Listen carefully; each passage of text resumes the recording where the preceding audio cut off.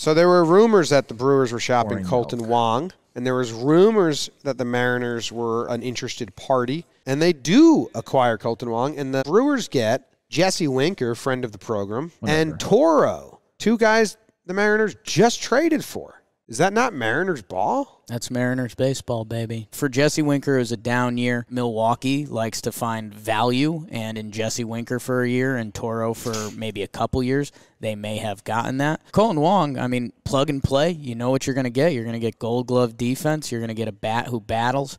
I think we're going to see them bring in more bats. Right now, the bottom of their lineup is a little thin. Kelenic, Tom Murphy. There's very little pop down there. I like it as a starting move for Seattle. If you're going to really do this, you kind of have to keep going. So I want to see what that is.